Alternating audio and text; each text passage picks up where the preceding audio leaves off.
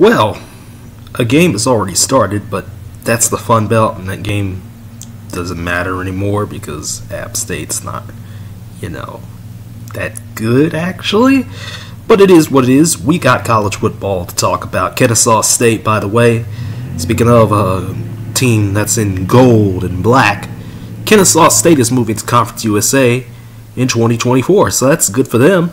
That's good for them. But we're talking about now. We're talking about 2022, and we're talking week number eight in college football. Somehow we made it eight weeks of the season. I don't know how, but we made it eight weeks into the season. We are we are getting closer to November. We are getting closer to knowing a little more. I don't know if we're gonna find. Well, we're gonna find out something this week. We're gonna find out a lot this week.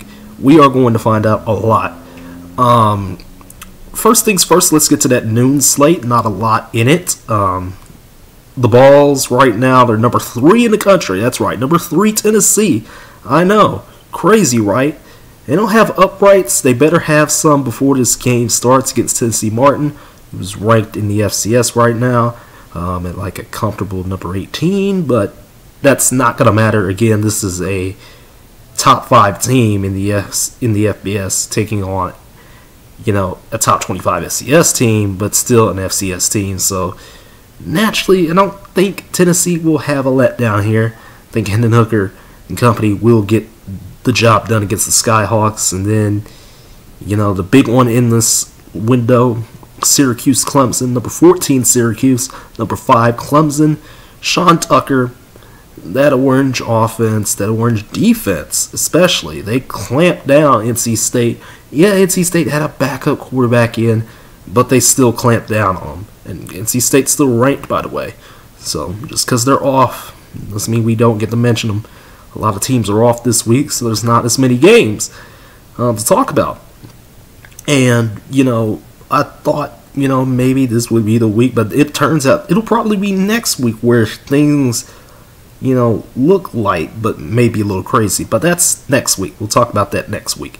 Um, DJ Uiagalelei and, and Clemson. I mean, I've been saying it all year that Clemson's, you know, not that good and stuff like that, but they've steadily improved. They continue to prove me wrong, and until otherwise, um, I, honestly, like Clemson could just cruise all the way to 12 and 0, and nobody would, you know, even bat an eye.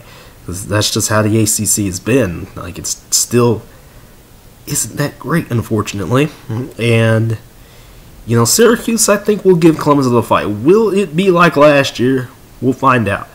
Um, Iowa, Ohio State. Now, I don't know what Fox was thinking by putting this game at noon.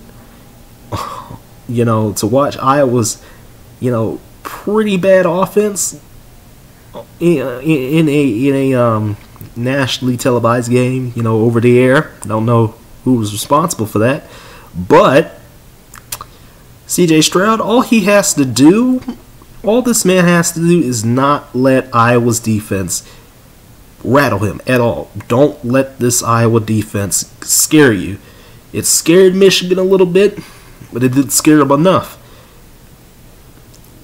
They, this Iowa this Iowa defense is still a scary bunch. They will still they they will still rattle you if you don't prepare properly. And all CJ Stroud, again, all he has to do is just not let Iowa take the ball away from him. Not let Iowa get in the backfield and sack him. Just don't let Iowa do anything. Pick them apart. And because we know we know Iowa's offense can't do anything. We know that by now.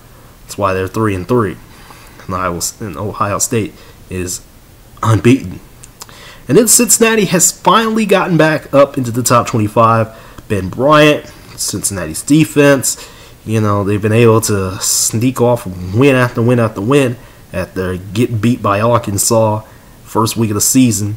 And, you know, they play an SMU, team that doesn't play a lot of defense, but they do score a lot, so we'll see if Cincy can limit that. And that's a similar case to another team in the American who we'll talk about as we go into the afternoon slate. And first things first, we got to talk about Boston College, Wake Forest.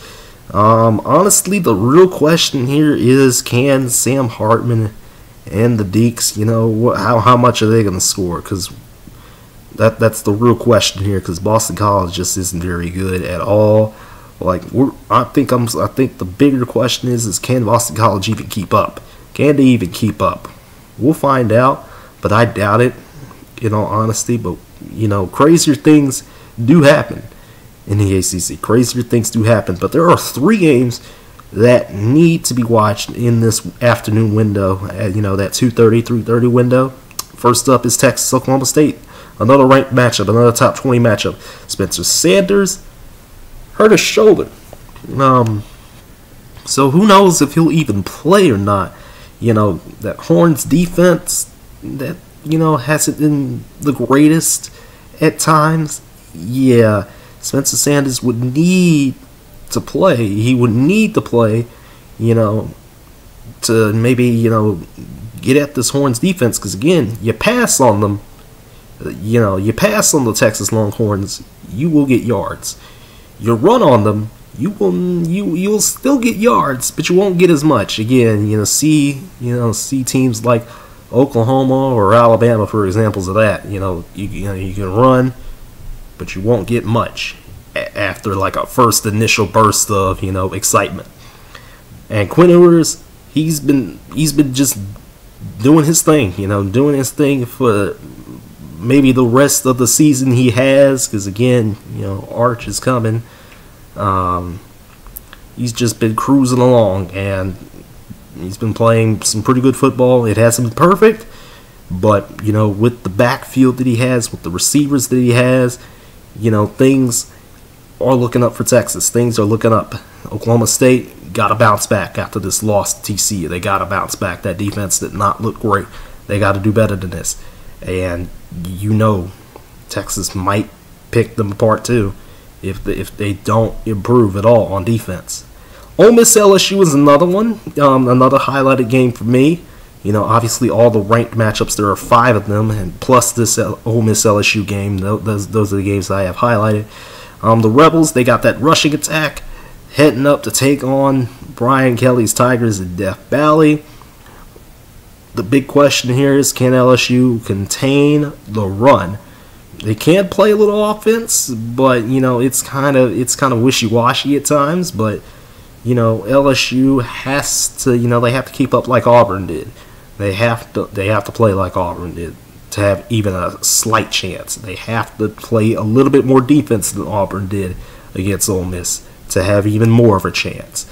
You know, LSU can score, LSU can play, you know, with the best of them. It's just, you know, Ole Miss might be too much for them. They might be too much. Because, I mean, it was an evenly matched game with Florida last week, so, you know, who knows? And then the big one, UCLA and Oregon as Dorian Thompson Robinson and Bo Nix will battle in the Pacific Northwest in the top 10 matchup. The game of the week right here. I mean, you got two great offenses, two defenses that can play and make big plays when needed. This one is going to be fun. You know, if you're not watching Ole Miss LSU or you're not watching Texas Oklahoma State, you're watching this game for sure. It's going to be a big one. It's going to be probably one of the highest scoring games of the season. It, won't eclipse Alabama Tennessee, but it'll eclipse, you know, some of these other games that have been high scoring, high octane, fun games in college football this year. And then Memphis Tulane again. Memphis, um, as I was talking about, you know, SMU's defense being bad, you know, going up against Cincinnati um, Michael Pratt and the Green Wave are finally back in the top 25, they might be able to just, you know, throw it all over Memphis because this Memphis team can score as well, but they also have a bad defense. Just like SMU, they have a bad defense. They can score a lot, they have a bad defense, and that's a recipe for, you know, something. That's a recipe for something because Tulane you know, again, they had that one loss, and their defense, they they know how to play. They know how to play. But you know, it's any given Saturday around here. You know, the way this season's been going, it's any given Saturday. So we'll see how this game goes. We'll see if Tulane can stay ranked or not. In the evening, we got a couple. We got a couple of games in the evening um, that are compelling. You know, two of them more so than the other one. And the first of these is Mississippi State, Alabama. Mississippi State hanging on just like NC State in the top 25. You wonder if Will Rogers could do the same thing Hendon Hooker did to Bama, which is throw all over them for a lot of yards and a lot of touchdowns because this Bama defense is not good. It's not. Penalty, they're the most penalized team in the country. Nick Saban is livid. He's going to be livid for pretty much the entire season. Pretty much, he's been livid the entire season, but he's going to be real, real mad the rest of the way if Alabama can't clean up a lot of things. You know, the, you know, some people are going to be saying like Bryce Young and the Tide are going to bounce back like real easy. You know, it's going to be a blowout, but I don't think that. I don't think that exactly. I think this game will be a lot closer.